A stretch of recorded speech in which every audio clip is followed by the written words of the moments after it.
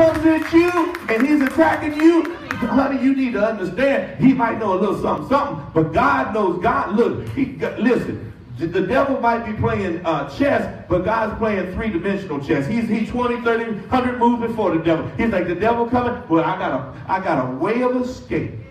Somebody say, praise the Lord for the way of escape. He said, I got a way of escape for you to get on out. They trying to attack you at your job. That's all right. Oh, they fired you at your job. But that's okay because I already had another one prepared for you. Somebody ought to give God some praise.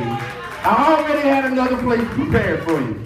So the devil is not omniscient. He couldn't destroy Jesus when Jesus was a baby, though he did what? He did try. But wait a minute. He didn't give up. What about when Jesus is now 30 years old and Jesus is a man? What are we talking about today? We're talking about the victory of Christ. God helped him overcome when he was a baby. Now let's see what happened when he was a man. When he was a man and he was about to start his ministry at age 30, the devil figured it out again. But see, the devil needed some help because John the Baptist said, Behold, the Lamb of God who takes away the sins of the world. He, he, he uh, broadcasted it that this is the one. Oh, now the devil knows. Oh, this is the one. I think it is the one. And, of course, Jesus started telling John's disciples to follow him, right? So now the Bible says in Matthew chapter 4 that the Spirit led Jesus in the wilderness to be what? Tempted of the devil. Ah, but here's the problem. The problem is now Jesus is not a little baby anymore. Jesus has been water baptized. He's been spirit baptized. He got some power and the devil's coming at him and he's not trying to listen now he's not trying to kill him like he did when jesus was a baby what he's trying to do now is not kill him he's trying to tempt him see the devil if, if the devil can't kill you then he'll go to plan B, and that is to tempt you, to seduce you, because that one's just as good as killing you. In other words, the devil was thinking, as a baby, I'm going to try to take him out. That didn't work. God was omniscient. He played me on that. He put a back door, and he, and he got the baby out. But now Jesus is a full-grown man, but he's in the anointing. So what am I going to do? He's out there fasting for how long? 40 days in the wilderness. And the devil comes to him, he tempts him. If you be the Son of God. The devil's always going to question who you are in the Lord. Well, if you really be a Christian, you wouldn't do that. See, they see, see the devil? Somebody say, if you. Don't you have a doubt about who you are. You need to know who you are in Christ. You need to know who you are. I said you need to know who you are in Christ. The devil, come on. Now, if you be a child of God, turn those stones to bread. The man was hungry. He had fasted for 40 days. It was not evil for him to hunger. It was not evil for him to want some bread. What would have been evil would have been for him to eat before God said so. Are you hearing what I'm saying? So what the devil did, he said, I'm not going to try to kill him because he's got power now. What I'm going to try to do is I'm going to try to get him to kill himself. See, the devil, when the Bible says the devil comes for three reasons, to steal, to kill, and to destroy, that word destroy does not mean necessarily to kill you with death. It literally means to make you of none effect. So if the devil can get you to disobey God, then you're of none effect. In other words, when Adam ate from the tree of the knowledge of evil, uh, the devil didn't strike him dead right then, but he made the man of God of none effect. Why? Because when he ate that fruit of evil, evil and sin went into him. And from that point on, he was not the man of righteousness. He was a man of none effect. Give God some praise if you understand what I'm talking about. All the devil has to do is get you to listen to him instead of listening to God, and all of a sudden, you're of none effect. You're destroyed because now you, you, you, you, you're not the man of God, the woman of God. So the devil tried to defeat him by tempting him with disobedience. But then that didn't work. Jesus said, man does not live by bread alone, but by every word that proceeds out of the mouth of God. What did he do? He showed him all the kingdoms of the world. He said, if you just bow down and worship me, you can have it all. He said, no. Thou shalt worship the Lord thy God only, and only him shall you serve. Then he said, okay, I'm, I'm going to go with the, I got one more chance at him. I'm going to go with the big one. the one that gets every man. Pride. He said, he said, look, Jesus. He took him to a high, the, the, the top of the temple. He said, if you, if you jump off the temple, he said, God's angels will catch you. And everybody will see openly that you are the Son of God. Go ahead, do it. And he said, no, thou shalt not tempt the Lord thy God. So in essence, he did not listen to the devil, and the devil was defeated in what he tried to do, and that is to get Jesus to disobey. So there was again the victory of Christ. Give Christ another bit. Round two, Christ wins again. Round one, the baby was delivered. Round two, the, the grown man did not take the bait of the temptation of the devil. But guess what the scripture says? The scripture says, the devil went away disappointed, but only for a season. Somebody say he's coming back. You got to be careful. Don't ever think that you just defeat the devil one day and that's it. He, he, no, he's coming back. He keeps trying to come back. He keeps trying to come back if you keep putting on that armor. He keeps trying to come back, and you. That's why you have to put on the armor every day. You have to put. When, when the woman was earlier today during the announcements talking about you got to eat that spiritual bread every day, she meant every day. You got to put on the word every day. You got to put in the word every day. You got to pray every day. Come on, church. You got to. This is because the devil is trying to come at you every day. Every day. Somebody say every day. Say, I know that's right. Now listen. He came back the third time. And this time, Jesus is about to go to the cross. Now, this is interesting. Now, listen now. This is very interesting.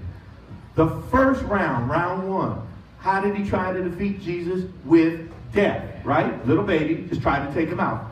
Second round, Jesus is a grown man. How did he try to defeat him? With disobedience. He wanted him, he wanted to tempt him to disobey. Because God told him to, to, to, to, worship him only. God told him to fast. God told him the things to do. And the devil was trying to get him to disobey God. First time, death. Second time, disobedience. This is round three, right? Amen. Guess what the devil does this time? He kind of, he doesn't have new tricks, but he mixed it up a little bit. You know, it's like, you know, left, right, and left. He, he, he mixed the combination up a little bit. He said, I'm going to try, watch this, I'm going to try disobedience first as plan A, and if that doesn't work, I'm going to go back to death, plan B. Watch this. What do you mean, Pastor? How did he try to get him to disobey? He worked through Judas. The Bible says the devil entered the heart of Judas, and Judas went to the chief priest and sold Jesus out for some chicken change, right? Why? Because in Judas's polluted mind, he was thinking, I'll force Jesus' hand. God has told him to die for the sins of man, but if I turn him over to the chief priest, surely he's going to show them I'm, the, I'm not dying like that. I'm the Lord. I'm going to call forth my angels. That would have been powerful, but it would not have been the will of God. Can I get an amen? It would not have been the will of God. It's like when, when Jesus was taken from Pilate to Herod, and Herod said, Show me some of your magic tricks. Just show me something to prove that you're the Son of God. And Jesus just sat there and didn't show anything. Amen? Well, church, here's what I want you to know. Jesus didn't take the bait for disobedience. Amen? Amen? So then what did the devil do? The devil said, okay, that one didn't work. So I'm going to go back to, to my original plan, which was death. I'm just going to take him out. I'm just going to kill him. But I told you that the devil is not omniscient. I told you that the devil is not smarter than God. I told you that the devil is not even on the same level as God. Do you realize that the devil was so limited in his understanding of what was going on that he thought by putting Christ to death, he was going to win. But he was really just playing into God's hand. Are you hearing me today? He was playing right into God's hand because Jesus said, For this cause have I come into the world to die for the sins of men. The devil didn't understand that when Jesus was on the cross, listen down, listen, when Jesus was on the cross and cried out and said, Eli, Eli, lama sabachthani. Translated, my God, my God, why hast thou forsaken me? When the devil heard that, he was dancing. When the devil heard that, the demons were leaping. When the devil heard that, they were high-fiving. They said, we got him now. He's crying out. He's lost his faith. He's saying that God has forsaken him. We got him right where we want him. And the Lord was saying, praise the Lord. We got the devil right where we want him. Because when he cried out and said, why hast thou forsaken me? What he was not doing was demonstrating a lack of faith. Or what he was signaling was the fulfillment of faith. That was the moment that God laid all the sin of the world on Jesus' hand, And because of that, he had to separate from the Father. Church, I want you to understand right now that when Jesus was on that cross, you can talk about the blood. You can talk about the nails. You can talk about the back scourging. You can talk about the 150 uh, a pound of cross that he had to take up 350 feet up to the mountaintop to be crucified. You can talk about the pain. You can talk about the suffering. You can talk about the, the, the, the, the, embarrassment, the humiliation, dying in a criminal's death. But what you really got to get is the fact that when Jesus got out there and God put his hand on his head as the scapegoat of God, it was in that moment that he did something that was inconceivable. At that moment, he was separated from the Father. And the Bible says, in the beginning was the Word, and the Word was with God, and the Word was God. In other words, the Word, Jesus Christ, the Son, had never been separated from the Father. He became separated from the Father because he because the righteous Son of God became sin. And he became sin so that you could become righteous. He became separated from the Father so that you would never be separated from the Father. He said, because of what I'm doing right now, but I said, why has thou forsaken me? I'm really saying, thank you because now, because of what I'm doing, you will never leave nor forsake the body of Christ. Give God some praise. You will never be forsaken. The devil didn't know that. He didn't understand that.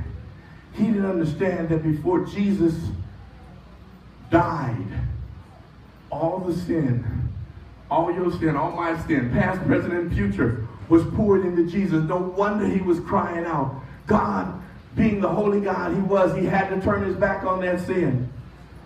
But he could never turn his back on that obedience.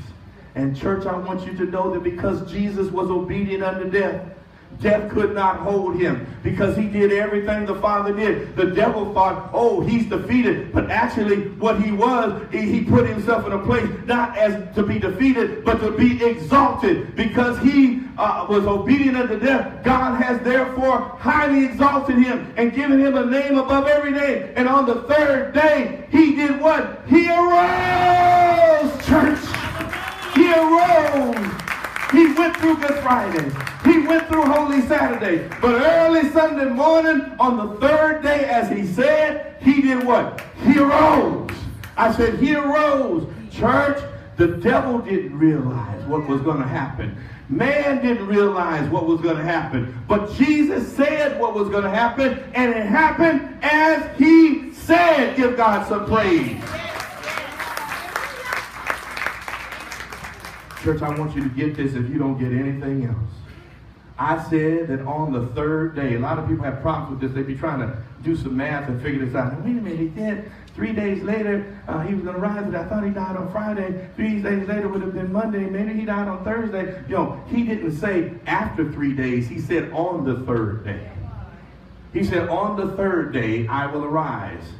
He, he died on Friday. That was day one.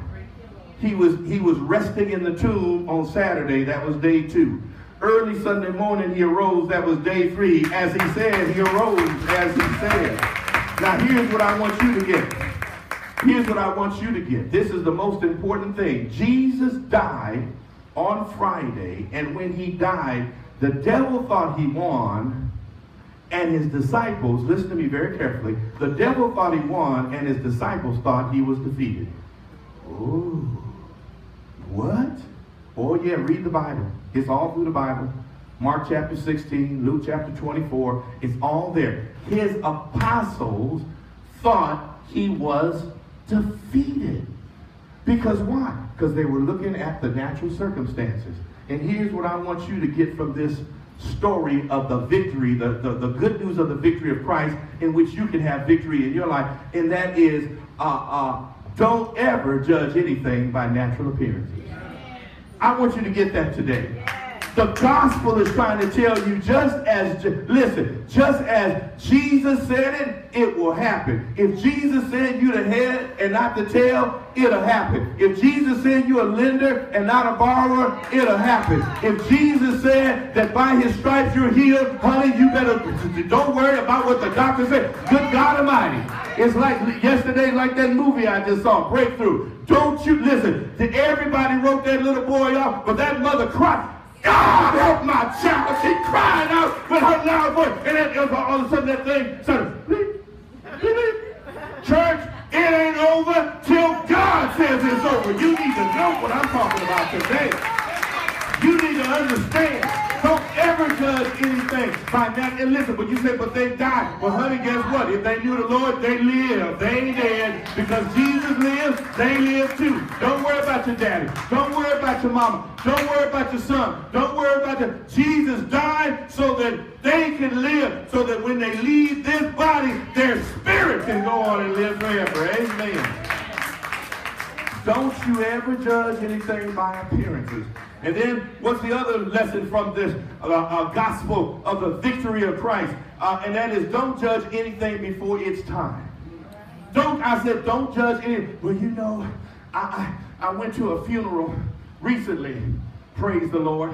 Go to a lot of funerals, learn a lot of things. And it was a tough situation because there was a young man who died. And, and when I say young, see, a lot of y'all who are in your 30s, you think I'm old. But see, when you get in your 60s, you realize 50 is young. Come on, somebody, help me right here.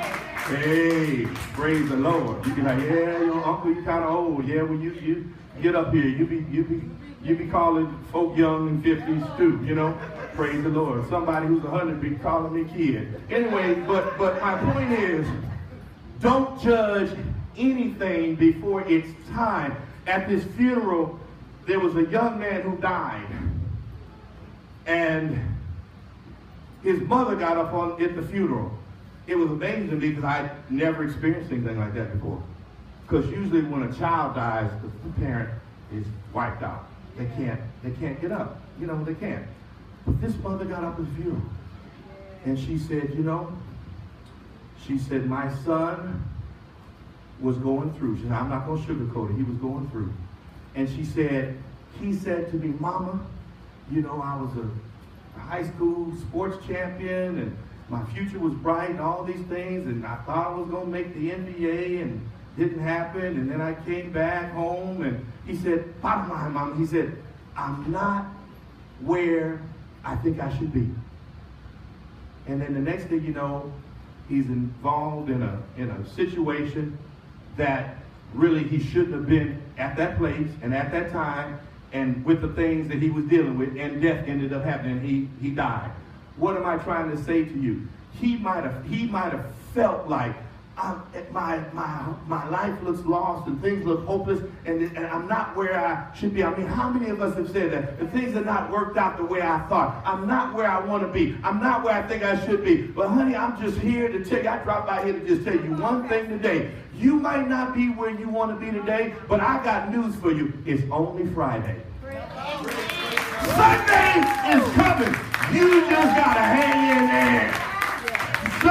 Is coming. Don't you judge anything before it's time. Well, you it, it ain't happened now. It ain't gonna happen. Church, I need you to understand. God has worked with a whole lot of old people. In fact, he, they didn't do nothing until they got old. God had to wait for them to get old and get some wisdom. He didn't work with Moses until he was 80. He didn't work with Abraham until he was 100. Come on, church, let me get an amen. I'm trying to tell you, don't you judge anything before it's time because Sunday is coming. Hang in there and let the Lord have his way. I wish I got a witness up today. Hallelujah. Glory to God. Church, I need you to know the lesson from the cross is to trust what God said. Stop looking at your circumstance. Well, yeah, well, if they would just give me a raise, if somebody would just recognize me, you don't even know what God gonna do. He might get you to start your own company. Stop work. You just at Friday right now. Don't worry about that. God got that thing already prepared. He said it. You believe it. That settles it. And come Sunday morning, you be listen. You be like Mary. Huh? Don't be like the don't be like them dumb men sitting back there in the upper room scared to go. The Bible says, I read that just this morning. I know it was you, Holy Ghost. Thank you. Got me up this morning. I read that story over and over again. But today I looked and I saw something new. It said that Mary and the girls went to the tomb. And on the way to the tomb, they thought to themselves, wait a minute. The tomb is closed. It's sealed. How are we going to take these spices and put them on his body when it's sealed? But while they were walking there to the tomb to put the spices on the Lord, their mind said, this don't make no sense because the tomb's closed. But their heart said, that's all right. We going anyway. You need to have a we going anyway attitude. You need to stop thinking about, well, uh, this can't happen. But what does the Lord say? Down on the inside of Mary. She got the vision, the revelation, the remembrance that the Lord said, on the third day I will rise. She didn't know how, but she said, let's go and see. Turn to somebody and say, let's go and see. Go I need some let's go and see people up in here. Trust what God said. Sunday is coming. Trust what God said the victory of Christ came on Sunday morning. And thank God there was somebody who went there, even though they didn't understand. The Bible says, they said, the stone was covering the tomb. And they said, and it's a big stone, and it's very heavy. They said, that's all right. Nevertheless, we going. Somebody say, nevertheless, I'm going. So I'm rising on up. I'm going to the top. I don't care what it looks like. I don't care what people say. I know how they talked about me when I was growing up. I know what you might say about me right now. Nevertheless, I'm going. I'm going, I'm going. God said I'm going, I'm going, I'm going. I'm going. Sunday is coming, and I'm going. The victory of Christ was over sin, death, the devil, and the grave. And I'm here to tell you that if you believe in the victory of Christ, you're going to have victory in Christ over the same. You're going to have victory over the devil. You won't have to worry about the devil because you understand now the devil is not omniscient. You understand the devil is not omnipotent. The Bible says if the devil was omniscient, he, he wouldn't have killed Jesus. He would have known that he played right into God's hand. The princes of the world would not have killed Jesus had they known who he was and what he could do. Church, you got some power now in Christ if you believe the gospel. You got to give God praise. So church, when things don't look right, seem right, sound right, or what? Feel right, you need to know that you have the victory as long as you hold on to what God said. And I'm telling you today, God said that he got up and he said the same spirit that raised him from the dead. Listen, listen, listen. You need to get this now. The same spirit that raised him from the dead. I'm talking Romans chapter 8 now. I believe it's verse 11. The same spirit that raised him from the dead is on the inside of you. Somebody say, put your hand to your chest. So put your hand to your chest. Say, I got some power. I got resurrection power. It's on the inside of me. I can rise up above challenges. I can rise up above obstacles. I can rise up above addictions. I can rise up above unforgiveness. I can rise up above racism. I can rise up above my debts. I can rise up above my anger and my temper. I can rise up because I got resurrection power on the inside. My time is up and I thank you for yours. God is good. And I prophesy that because of the revelation of Christ, going to have victory in Christ. This church is going to grow. We're going to grow. We're going to go. And we don't care if the stone is over the tomb. Give God some praise one more time. Hallelujah. Got resurrection power. I got resurrection power. Glory to God. Glory to God. It's about my eyes are closed. We never want to take it for granted that everybody under the sound of my voice has that resurrection power, has given their life to the Lord Jesus Christ. We want to first of all deal with our broadcast audience. If you're listening online, we don't, we don't want to take for granted that you're saved. You can be saved if you put your trust in the victory of Christ. The Bible says it like this in Romans 10 9.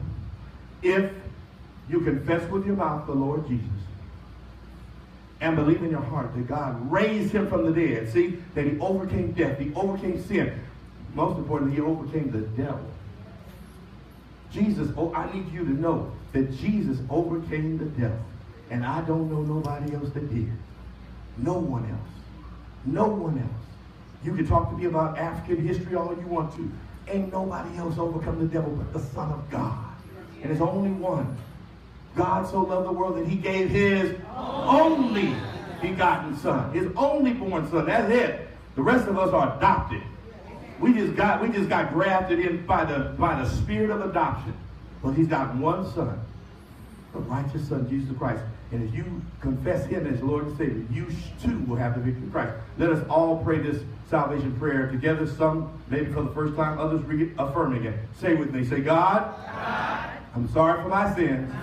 for my sins. Please forgive me. Please forgive me. I believe, I believe in, my heart, that you so loved the world that you, gave your only son, Jesus Christ, Jesus Christ, to come into the world as the perfect sin sacrifice for all men. He, he took on all man's sin and then he died to pay for that sin. But on the third day, you raised him from the dead, proving that he's the conquering Lord. Lord Jesus, come into my heart. Be my Lord and Savior. Save me. And I will love you and serve you all the days of my life. Because of my faith, I am saved. In Jesus' name. Let's give God some praise. Hallelujah. God bless you and our broadcast out there. If you uh, have just received the Lord in your heart, we pray that you'll find a good Bible teaching church where they recognize that Jesus is Lord and the Bible is the Word of God and get involved in the plan of God there at the local church. And if you're here in the Los Angeles County area, Southern California area, come visit us. The information is up on the screen where you can contact us. And stay tuned to this broadcast for other life-changing, God-filled, Spirit-filled messages in Jesus' name. Amen. Let's give God praise for the broadcast.